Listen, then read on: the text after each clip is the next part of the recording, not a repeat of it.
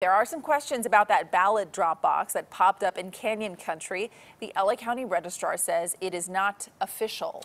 But a local pastor posted about it online and encouraged people to drop off their ballots. As KCAL9's Laurie Perez tells us, now the box is gone, but questions remain.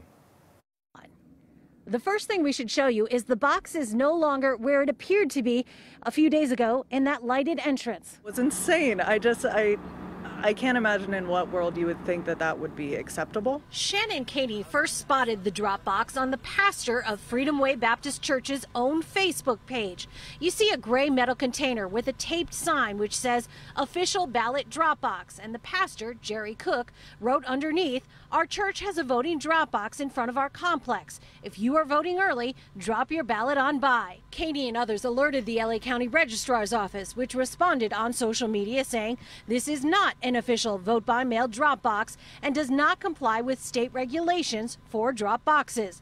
The registrar's office told me tonight they're trying to reach Pastor Cook and working with counsel to issue a cease and desist letter. Other posts on the church's website show it hosting a forum for Republican local candidates and criticizing the Black Lives Matter movement. With that in mind, some locals are, frankly, suspicious of what the church's intentions were with the box. If you believe in your candidate, there's no reason to try to fudge with the election at all. It's just, it's an attack on democracy. It's not okay. And it pissed me off. I mean, it was up for like four days before I even saw it, before it started to kind of gain traction. Uh, so I'm, I'm really worried that, that someone uh, put their ballot in there and that he just you know, saw it was for a certain candidate or saw whatever and just tore it up or throw it away. We've made numerous attempts to reach the pastor on the phone, on social media, via email to find out whether he knew the drop box was not in compliance and what he's done with any ballots that were dropped off. He has not responded. It's unclear what further action the election officials might take against the church and the pastor beyond telling him to remove the box. Loyola law professor Jessica Levinson says whatever happened here, it's bad news.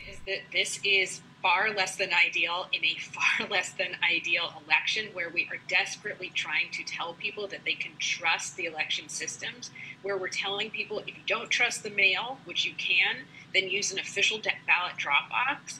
And now we have a church using what looks like a filing cabinet and saying it's an official ballot drop box when it's not. This does not do good things for people's trust in our elections.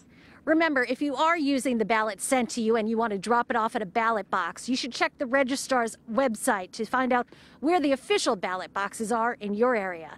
In Castaic, I'm Laurie Perez, KCAL 9 News.